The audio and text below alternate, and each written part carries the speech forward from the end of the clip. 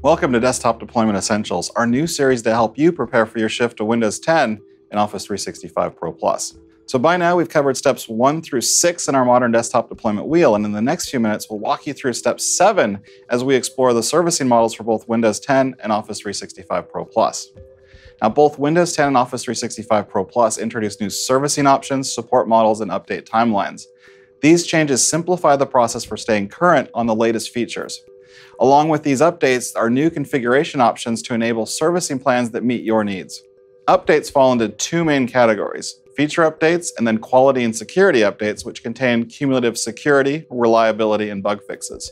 In terms of cadence, both Windows and Office deliver semi annual channel, which delivers new features twice per year around March and September, while quality and security updates occur monthly. Additionally, unique to Office 365 apps, we deliver monthly channel updates that are fully supported and contain both new features and quality updates. So, okay, let's pause for a second because you might be thinking, are these updates going to be compatible? Will I need to keep retraining my users? And what are the risks? So let's break this down and explain some of the advantages of the new approach. First, we've moved away from the model of the past that would introduce huge waves of change every three or so years to now more incremental, smaller ripples of change with feature updates twice per year.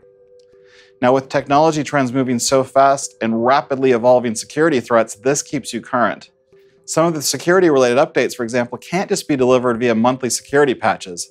They may require low level changes to the platform, like with virtualization based security. Second, delivering quality and security updates as a cumulative package corrects many of the issues from the past. It used to be that you'd pick and choose sometimes from up to a dozen updates or more each month for both Windows and Office. As you can imagine, this creates nearly an impossible set of test matrices for support. Also, if you install a one or two year old version of Windows or Office, it might take hours or even days to apply all the updates delivered since that version was released. So now you're always just one update away from being current with cumulative updates, and we've reduced the number of monthly updates that you'll need to deploy. Each update builds upon updates from previous months and contains all the fixes that you need to get current.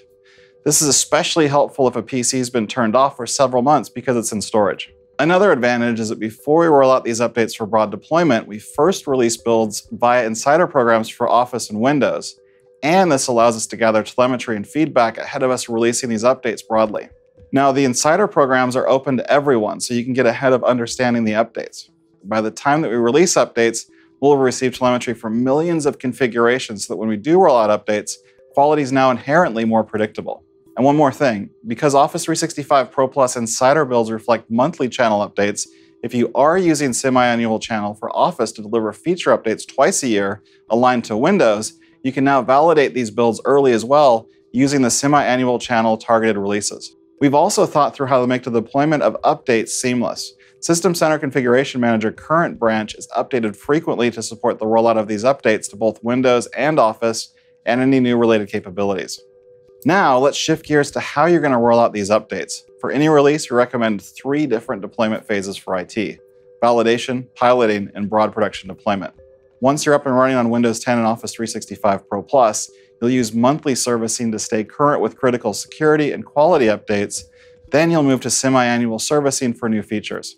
Let's start with monthly updating. The service model is designed so you can choose to limit the rollout of new features to just twice per year. And if needed, you can even skip a semi-annual update and continue receiving quality and security updates. As I mentioned, the cumulative nature of monthly updates means that each increases in size per month. Using a technology called Express Updates in Windows and binary delta compression in Office, we can reduce the size of the download significantly. In both approaches, the update engines compare what's on the PC and finds only the differentials needed to update what's there. Windows Update for Business and Windows Server Update Services have supported these Express updates for a long time, but now we've also added that support to System Center Configuration Manager so it can also use Express updates. Binary delta compression in Office is only used if you're updating from the most recent version of Office 365 Pro Plus. So to use this approach, you need to be updating from the previous build and can't skip updates. Windows and Office update channels can be managed via Configuration Manager using the standard approval and targeting process. Additionally, you can use policy settings in Office and Windows to enforce update channels used, as well as related settings. So those are your considerations for monthly updates, but now let's move on to the larger semi-annual updates. As we covered in device and app readiness, you'll want to begin your preparation for these larger updates using the same readiness tools that we set up in step one of the deployment wheel. Now, if you missed that episode, you can check it out at the link shown.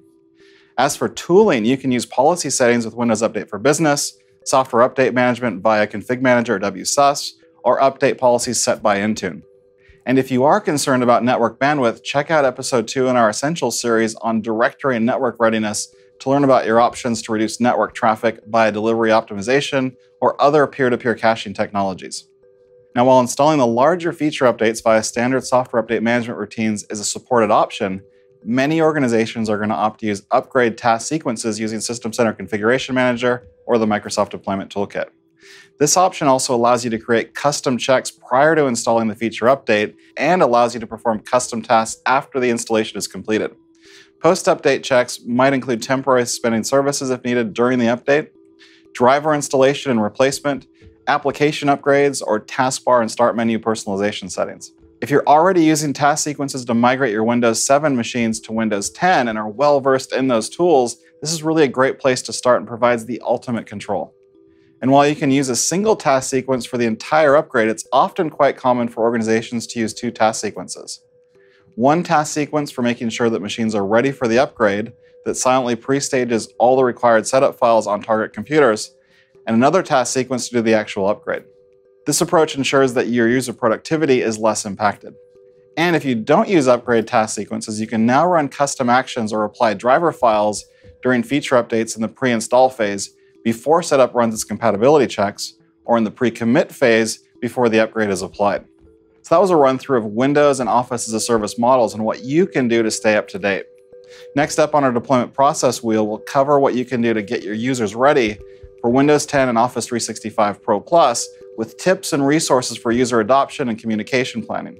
To learn more, don't forget to visit our Modern Desktop Deployment Center and keep following our Desktop Deployment Essentials series here on Microsoft Mechanics. Thanks for watching.